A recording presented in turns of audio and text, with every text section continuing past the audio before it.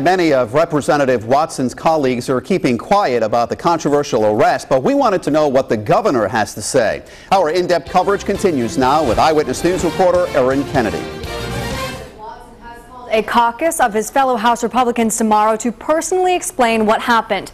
Watson is asking his nine GOP colleagues not to comment publicly until hearing his side of the story. The caucus is scheduled for 3 p.m. Tuesday in the House Minority Office at the State House. Meanwhile, we caught up with Governor Lincoln Chafee this morning and asked him about Watson's arrest. He tells Eyewitness News he is waiting for more facts before passing judgment. I'm just hearing about it, and uh, of course, Mike, uh, it's a sad and tragic situation if it's accurate.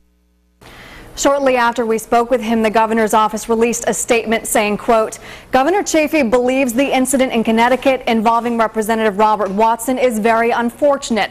However, the governor also recognizes that Representative Watson is entitled to due process.